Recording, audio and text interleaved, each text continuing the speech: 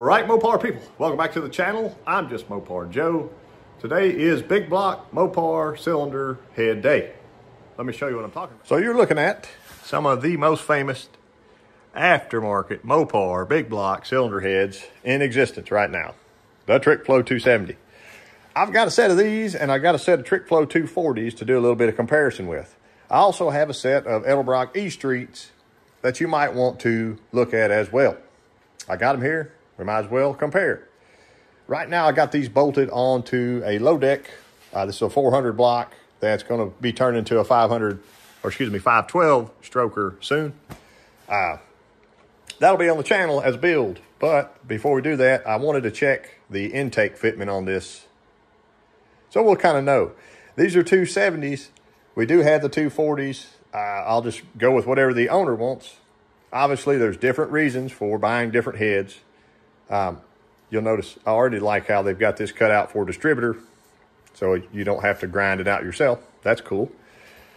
But I want to show you how the track heat intake fits on these heads just as it is right now. Let me get it taped up. So here's step number one. I just got some nice masking tape laid out over the ports and covering the entire edge of the head. That'll be a quick transfer for us in just a second. And here is our Trick Flow track heat intake. I can set it down one hand. I'm gonna get our bolt holes lined up. And I realize there's no gasket on here. I'm just doing this as a size comparison and kind of a uh, quick way, quick reference. I would look down the ports, but they are massively um, undersized on this intake. And Trick Flow does say you can trim this intake to fit those ports. And I'd like to test that right now and just be sure because it looked like a long way to me. So let me bump this up and get it traced out. Now, before I pull this intake off, I want to show you I've traced it with a super fine line. And I want to set my camera down and show you the height to the intake from this front rail right here. So that if you're figuring this in your car, do you need a hood scoop or not? Um, you'll have this measurement. Somebody needs it out there. I also have a couple other intakes I can drop on real quickly and do the same thing just for your reference. Find me the straightest spot I can here to where they intersect. Six and three sixteenths. Here's a good old Performer RPM like we just had on the dyno. And you can tell it's got quite a bit more slope to it than the track heat did five and an eighth. Move out a little bit. Five and an eighth, five, five and a sixteenth. A little over six and an eighth. There you are. Don't forget that. Old. Here's an old dirty Torker, 383, just like I had on that dyno build. You can buy them for $75 all day long on Facebook. Uh, four and five sixteenths. I'll check the back if you're curious. Uh, five and five sixteenths. That is just one ugly dude on there, but she is short. You got to give it that. And it makes torque. We know that part. So this is about to be fun. Ta-da! That is quite a bit difference. And yeah, it looks like most of it. Over and lay it out on my intake, excuse me, just to see kind of which way I would have to grind on that intake to make it happy to go with these heads. Let's try that. And before I remove that, I've got to do a little trim out just like that, just like that. So we'll know. There's our reference top of the intake when that's perfectly lined up. This should put our ports very close. Transfer is complete. I went ahead and marked around the edge of the port with my red marker here. When I peel this off, we'll be able to tell a major difference. So the outside of that line is to where the port would need to be opened up to to match the ports in the head. And there's other ways of doing this. I'm just doing it for reference right now. I'm not about to port this intake. Um, I marked this one to the outside edge of the actual gasket itself. So you can see trick flow uh, left quite a bit, I think, um, on, ma on matching up to that gasket. And it is nice to have some if you're trying to match it to your specific deal to have some meat left instead of them just hogging it out to the very bitter end. So we can peel this one off and look. When she goes, she's gonna be uh, probably ruined, but that's fine. There we go. So that's got to go to the outer edge of this, all the way to there. If this was a poured out scenario. And I'd like to just check. I'm certain it could be gasket matched, but that distance right here, the thickness from there to there, of that roof of this uh, intake, let's check that measure that pin and we will subtract in just a second. So 815 on that pin. Find an edge that's not raised, stick my pin here. Then I'll get a measurement on the entire thing, such as this. And that'll get us in the ballpark.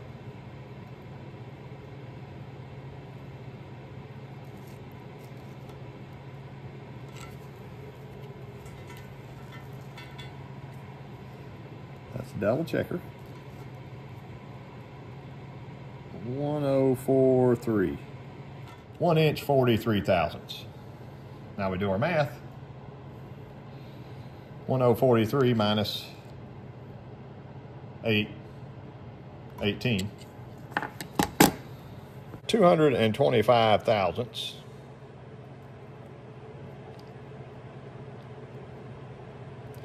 Which is a little less than a quarter inch. Something worth adding, I think we have a couple competing different angles here. So uh, I'm test fitting all this without a head gasket on. I'm test fitting it without intake gaskets on. Uh, this intake face is not the same angle as this head face here. So when that head uh, actually goes on, it gives a different angle to this intake that way. I, that's the simplest way I can tell you that. So if we put a 50 thousandths thick head gasket here, which doesn't have anything to do with us setting an intake up. Um, it's going to move the heads a little bit wider, causing the intake to drop just barely a little bit more. So it, it's, you know, part of the stack that we, uh, a lot of people talk about, but what it's going to end up being is whatever it is, and then the intake's going to get adjusted. You know, these heads won't be milled on that, that face or anything like that. Since it is big block head mock-up day, these are some 240s. And we may end up going with the 240s if we like the intake uh, fitment better. And we go ahead and decide that it is highly unlikely that we're going to, uh, by we, I mean me, uh, am I going to spend as much time porting that intake out to fit these or not? Um, and I want to talk a little bit about uh, head choice here in just a minute. But I went ahead and tried to put a straight line right here so I can bolt that intake back on for you and it'll be bolted onto this side, not that side. And you'll get to see the difference in how much taller of a head profile the 270 is versus the 240. Now, this will get you a little bit better view. I never have removed this tape from this head, so I kind of wanted to use it for an example.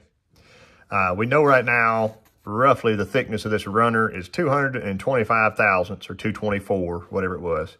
Um, so less than a quarter inch, obviously. Uh, and we can pour it into that and we can get closer to this. And I do realize, and I probably haven't mentioned it yet, whenever you put gaskets on here, like 270s would take a plate to go under the intake. When we put a gasket on here, it's going to raise this intake just a little bit higher even. So that would cheat us a little bit on top, right? And I can I can do that just uh, by loosening my bolts and pulling it up some. But the air at the roof is kind of what matters the most. So having that port alignment uh, drastically is more important than the other sections. Maybe the outer walls as it comes down. But uh, here's the difference I wanted you to see in the 240 head versus 270 on the intake. So if you can see the distance from that spot, imagine a straight line going here. That's how much that intake would drop with the 240s. That is one of the major considerations in choosing your cylinder heads. On every build that I've done, people always comment and say, why didn't you buy 270s or max wedge ports of some kind for that engine? Part of it's price. Um, they do cost more than other heads. The correct intake that I can find for a low deck right now is from Indy, and I believe they want seven or eight hundred dollars for it. I'll put a picture up here. It's going to have a taller profile. If you're trying to fit this under a car hood of any kind, like not a race car, then you're going to have problems. I did a dyno 440 uh, for my buddy Nick. He's got a flat hood on his Charger. That's why he went with 240s. And people were freaked out about Engine Master shows you make more power with the 270s. I don't think anybody in the world is going to try to fight you about that. Um, but what will fight you is your hood when you try to shut it and the carburetor leaves a dent in the top. So I just want to keep that in mind. A lot of people don't think about it. There's a struggle, and I understand. So it's a lot easier just to run a hood scoop, forget about it all, and run the tallest intake in the world, and everybody's happy. I had somebody else fight me on the other, on the 500 about, we used the Torker intake. That's one Dave sent me that. Um, but it's, it's shorter than the, than the Performer RPM. Like I showed you that in this video with those other heads. And I mean, if, if you're looking for clearance, you got to have it. So just keep that in mind. Also, if you wanted to run the Torker in a spacer, you might have a better chance of doing that. I'll show you the Edelbrock first. So this chamber, also if you buy a 440 source, it'll have this exact same chamber uh, because it's very much the same as this. I believe the Edelbrock had it first. Anyway, uh, those are nice heads. I've got a set on my blue truck right now. The E Street head from Edelbrock. There's a chamber size, shape, whatever you want to call it. These are 84 cc. Let's look down the runners real quick they got kind of a quick and dirty uh, cutout job on them.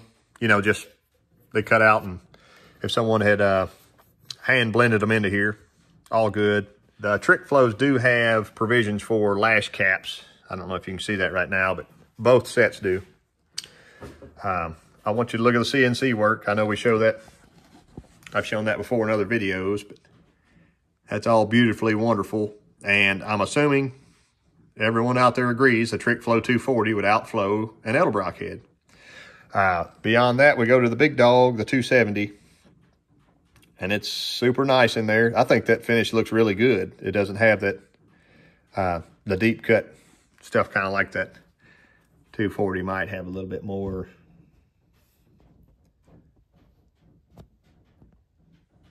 There, you can kind of see it in there. Anyway, here's another deal it boils down to.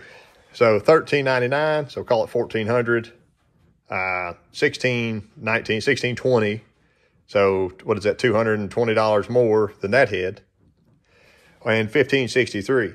This is for a pair. You can buy a pair of Edelbrocks for fifteen sixty three ninety five, and that's before uh, if you can get a discount or something at Summit or anything like that. So think about that. A pair of heads, fifteen sixty three ninety five uh, this pair's $3,240 before tax.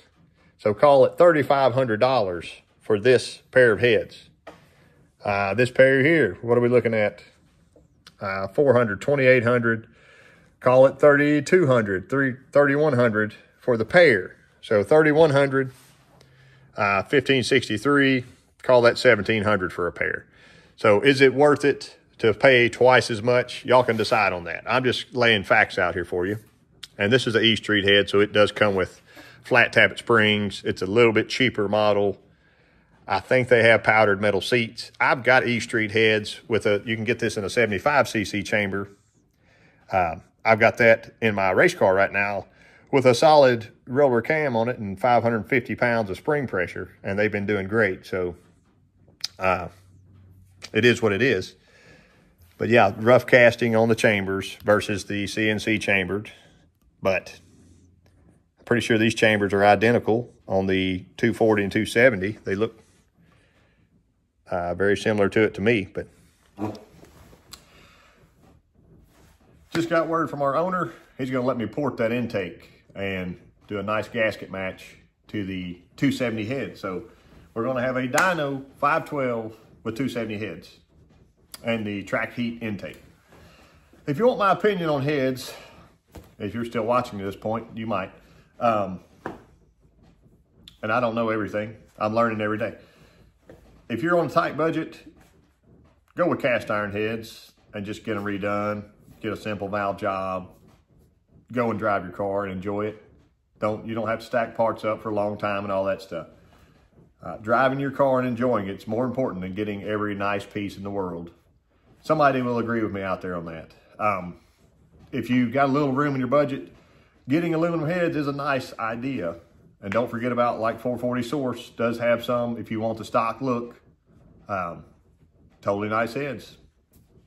But if you want to keep stepping up from there, uh, I think the Edelbrock's flow a little more. Uh, I've had good luck with them. If you want to get more compression, the E-Streets with the 75cc chamber does give you a little bit uh, better bump and compression uh, than a lot of other variety out there.